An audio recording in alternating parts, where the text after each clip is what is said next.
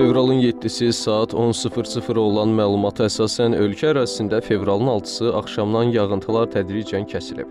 Lakin gecə və səhər bəzi şimal və qərb rayonlarında arabir yağıntılı olub, qar yağıb. Milli Hidrometeorologiya Xidmətindən verilən məlumata görə qar örtüyünün hündürlüyü Sarıbaşda 48 sm, Ordubadda 36, Şəki, Xaltanda 12, Qusarda 9, Altıağac, Gədəbeydə 6 sm-dək olub. Havanın maksimal temperaturu Bakıda və Abşeron yarımadasında 12-16, Naxçıvan Muxtar Respublikasında 12-15, Aran rayonlarında 15-19, dağlıq rayonlarda 9 dərəcəyədək isti, yüksək dağlıq ərazilərdə 3 dərəcəyədək şaxta olub.